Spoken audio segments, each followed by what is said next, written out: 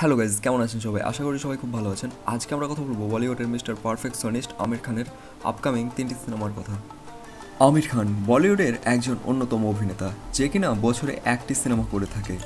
মাসখানেকের মধ্যেই তার বহুল প্রতীক্ষিত সিনেমা লাল সিং চাড্ডার, শুটিং শেষ করবেন তিনি। গত বছরই মুক্তির অপেক্ষায় থাকা সিনেমাটি বিলম্বিত হয় মহামারীর কারণে। তবে দু হাজার বিশের শেষ ভাগে এসে আবারও সিনেমাটির শুটিং শুরু হয়। এবছরই সিনেমাটির মুক্তির ঘোষণা এসেছে। তবে বলিউড পাড়ায় এখন নতুন গুঞ্জন চলছে। লাল সিং চাড্ডা শুটিং শেষ করে কোন সিনেমায় কাজ করতে যাচ্ছে মিস্টার পারফেক্ট? বলিউড হাঙ্গামা তাদের এক প্রতিবেদনে লিখেছে, বছরে একটি সিনেমা করতেই পছন্দ করেন একটি সিনেমার কাজ শেষ হলে আরেকটি সিনেমার কাজ করেন তিনি।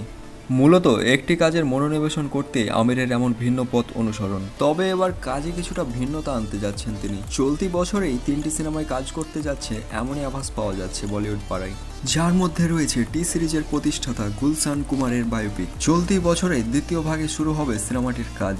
এরপর জনপ্রিয় একটা স্প্যানিশ সিনেমার রিমেক করবে আমির। সেখানে তার ক্যারেক্টারটা থাকবে একজন মাতাল এবং অহংকারী কোচের। সর্বশেষ আরও একটি বায়োপিক করার কথা চলছে আমিরের।